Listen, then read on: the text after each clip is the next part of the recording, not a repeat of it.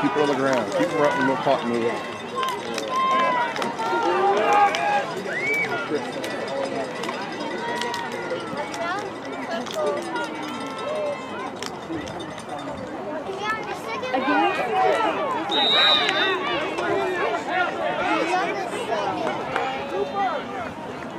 Short turn dynamic.